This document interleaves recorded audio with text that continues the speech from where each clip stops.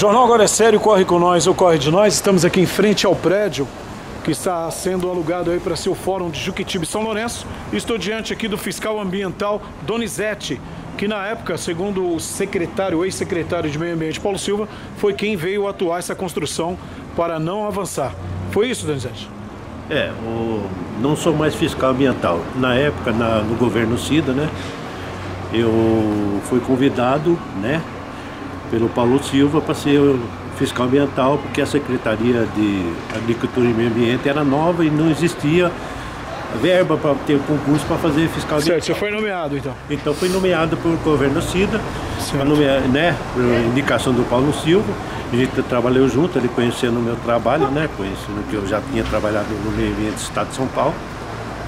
Aí eu vim exercer a função, certo. eu exerci a função do governo Cida até seis meses depois do governo do Francisco Júnior. Você ainda permaneceu, né? Agora sou fiscal de obra de concurso só. Certo.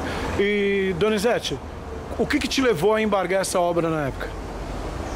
Bom, aqui é o seguinte, houve uma denúncia dizendo que estava existindo sim um crime ambiental aqui, né? Essa denúncia chegou até mim, através da secretária do Meio Ambiente, para que eu viesse aqui. Quando eu vim, cheguei no local, eu encontrei já a obra já em andamento. Que eles estavam já com terra terraplanagem pronta, já com o início da obra. E para início da obra, eu voltei ao departamento e comuniquei ao secretário do Meio Ambiente. Que eu só podia dar um parecer agora através do projeto do departamento de obras, né, indicando que estava em andamento o projeto e quem foi que despachou, se teve alguma a liberação pela CETESB, né, do local.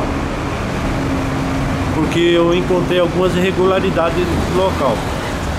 Aí, a pedido do secretário do Meio Ambiente, Paulo Silva, nos encaminharam um projeto.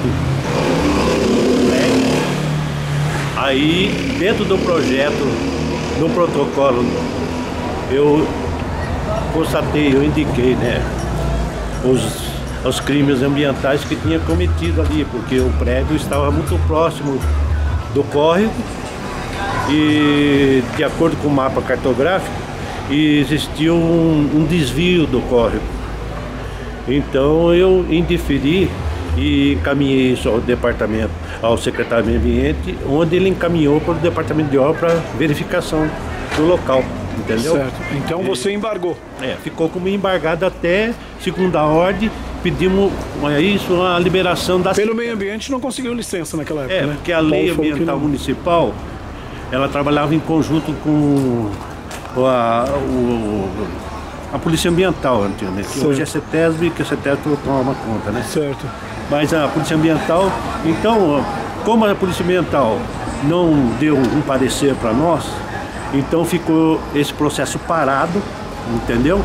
E sem liberação e nunca mais voltou esse processo na minha mão. Certo. Não houve uma multa até que fosse esse processo ter uma justificativa de quem liberou de quem era Quer dizer, o, o, processo não veio para sua mão e a construção avançou mais rápido que o ah, processo. Aí a construção avançou. Aí como ficou, acho que incumbido com a, a parte da administração, né? Eu acho que foi isso, que eu só o secretário do meio ambiente da da época pode dizer se deu andamento ou não. Só sei que eu fiz minha parte de acordo com a lei ambiental do município. E, e Donizete, o que, que te levou a, a, embargar a obra? Quais foram os crimes que, vocês, que você viu nesse, nessa obra, nessa construção? Olha, se fosse para dar início sem ter justificativa do, do projeto, teria ser a terraplanagem, né? Estava próximo. Movimentação de terra? É, movimentação de terra, né? Aí teve o desvio do córrego. Desviou, desviou o rio? É, foi desviado um, uma parte de acordo com o mapa cartográfico, né? Certo. Deu uma desviada ali. Então, aí nós, ficou nesse parecer. Então ficou nesse sentido para resolver essa situação. Independente das outras leis ambientais que tinha cometido, eu não sei se existia árvore ou alguma coisa, que eu não acompanhei o desmatamento Sim. ou alguma coisa. Você sabe que na época você veio aqui e embargou porque não estava cumprindo com as leis ambientais. É, não estava cumprindo e eu, a obra já estava em início, né? Sim. E não deu para a gente dar andamento Desde Você não acha que... estranho agora o fórum ter que alugar um prédio onde que ele não cumpre as exigências ambientais, Donizete? É, Você achou estranho olha, isso aí? Para mim, para mim é o seguinte, olha, o fiscal normalmente ele é muito desacreditado em Juquitiba, até perante a justiça. Porque quando você vai no fórum, às vezes você é obrigado a calar a boca e deixar o juiz tomar atitude. E não você demonstrar ao juiz qual é. O que te levou a praticar o ato, né? Então, para a pessoa aqui, é muito mais fácil chegar e falar assim: olha, ele não liberou porque eu não facilitei para ele alguma coisa. Entendeu? Isso acontece muito com vocês em audiência? Meu filho, se for é direto. Meu filho, se é a tal coisa, para tudo tem um erro. Assim, para mim não era interessante, certo? Todo mundo achar que o, por exemplo, o Donizete fiscal se vender por qualquer bagulho aí, para depois ficar. Deixa bem claro que não, não, o que você está falando não tem nada a ver com esse caso aqui, né? Esse não, caso aqui não foi para a justiça, né? Mas eu estou falando em termos assim, ah, geral. Sim, geral, fiscal, né? né? Sim. Fiscal aqui muito desacreditado. Tudo aqui que você. Porque o fiscal não é para multar, o fiscal só é para informar. Ele vai lá. Ele informa que a obra não está com as condições legais para ser executada. É o procedimento. Daí o fiscal, ele não atende, daí o fiscal vem notificá-lo das informações que ele né, serviu ao, ao contribuinte certo. das irregularidades.